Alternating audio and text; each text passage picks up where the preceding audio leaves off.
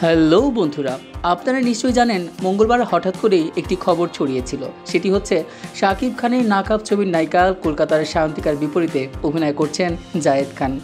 নাম ঠিক না হওয়া নতুন এই ছবিতে জুটি বেঁধে অভিনয় করবেন তারা। এটি পরিচালনা করবেন তাজু কামরুল কয়েকটি ওয়েব পোর্টালও খবরটি প্রকাশ করে। সেখানে এমন খবর আছে, সিনেমাটির বিষয়ে সায়ন্তিকার সঙ্গে কথাবার্তাও চূড়ান্ত।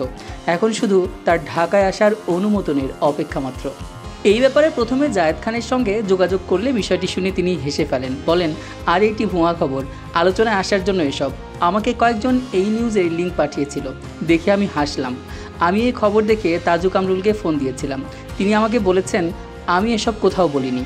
এই ধরনের খবরে অনেকটা অবাক হয়েই ঢাকার ছবির এই নায়ক আরও বলেন, এসব কী রে ভাই? খামোখা একটা খবর। তাজু কামরুল এফডিসি পাড়ায় থাকেন। খামোখা আলোচনায় থাকতে চান। এটি অনন্য মামুনের পার্টি। কিছু মানুষ আছে, কোনো নিউজ না থাকলে খবরে থাকতে, আলোচনায় থাকতে খবর বানিয়ে ফেলেন। দেখেন না, অনন্য মামুন আমির খানের ভাইকে ছবিতে চুক্তি না করেই খবর চড়িয়েছিল। এসব খুবই হাস্যকর ব্যাপার। তবে অনেক আগে ওই পরিচালকের সঙ্গে একটি ছবি নিয়ে কথা হয়েছিল বলে জানান জায়েদ খান। বলেন, একটা ছবি নিয়ে প্রাথমিক একটা আলোচনা হয়েছিল তার সঙ্গে। কিন্তু কোনো চুক্তি বা চূড়ান্ত কোনো কিছুই হয়নি।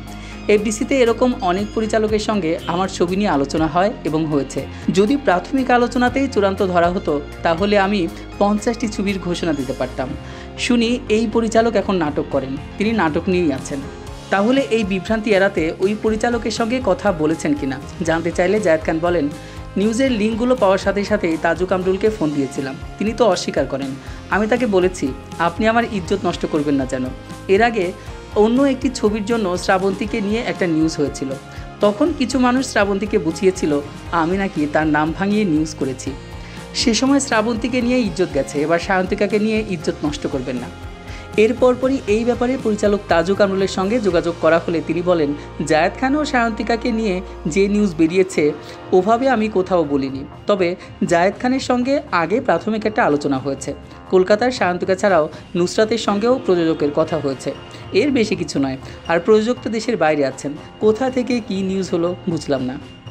তো বন্ধুরা, জাহেদ খানের এই গুজবের ব্যাপারে আপনার কি বলার আছে? জানিয়ে দিন আমাদের কমেন্ট বক্সে আর আমাদের ভিডিওটি ভালো লাগলে অবশ্যই আমাদের চ্যানেলটি সাবস্ক্রাইব করুন এবং শেয়ার করে ছড়িয়ে দিন ফেসবুকে